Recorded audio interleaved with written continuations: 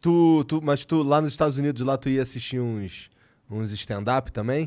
Não, velho. Não, porque o meu inglês nunca foi bom. Meu inglês sempre foi o Tabajara. Sabe É? o Tabajara?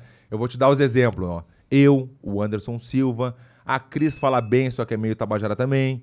Né? O Lioto fala bem, só que é meio Tabajara também. Então, tem gente que não vai conseguir falar aquele inglês fluente, que nem a minha filha, que nem a minha mulher fala bem, a Joana. A- o mestre Rafael Cordeiro fala bem. O meu mestre, né? Que é o. Tu conhece o mestre Rafael Cordeiro, né? Quero trazer ele aqui também. Já ouvi Quero falar. trazer todo mundo. Ué, vamos lá, vamos Não, o. Rafael tá Cordeiro. foda, né? Não, É, acho o, que é o. Rafael Cordeiro. O Rafael Cordeiro tá simplesmente treinando o Mike Tyson. O Mike Tyson que convidou ele. Não é vai, vai lá treinar. Não, não. Sim, eu sim. quero treinar com o Rafael Cordeiro. Entendeu? Quem foi que falou isso pra gente? Teve um cara que teve aqui e falou essa parada pra gente. Então eu conheço de nome. Foi o. Foi Popó? Foi o Popó, Uhum. verdade, foi o Popó. É isso aí, imagina. Eu que apresentei ele pro, pro Mike Tyson, eu cheguei a fazer um. Imagina, nossa, a luta te dá um, um negócio diferente de tudo que eu posso imaginar.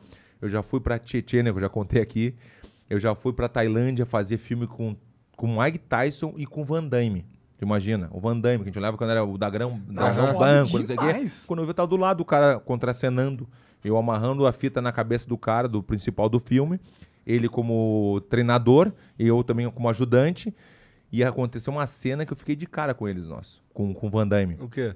Porque eu botei a fita na- na- no olho do cara, do principal do filme, e ele pegou, botou, tapou o olho de verdade, ficou cego mesmo, sem ver. E o Van Damme, em vez de fazer só a filmagem de chutar de longe, o cara deu um chute na barriga do cara. Igor, tu não tem noção. O cara ficou, o cara acocou assim, ficou amarelo, laranja, começou a suar frio e nem pediu desculpa. Aí eu já pensei, né? Eu já liguei o alerta, né? Mas se ele faz isso comigo, eu vou quebrar ele aqui. eu juro que eu pensei isso. É o Van Damme, é o Van Damme. Mas, pô, nossa, me chuta de um jeito aquele, me dá um chute na barriga daquele jeito que eu, que eu vi. Ele me dá um chute daquele, eu quebro ele todinho, eu piso na cabeça dele. Eu piso na cabeça do Van Damme. Nossa, não é brincadeira, nossa, eu juro. Porque imagina, Porra, deve ter sido um puta chutão do é caralho. que tu não entendeu. É que foi um chute que eu fiquei apavorado. Ele deu na fé de sapatilha ainda, aquela sapatilha de, de ninja. Atravessou o cara.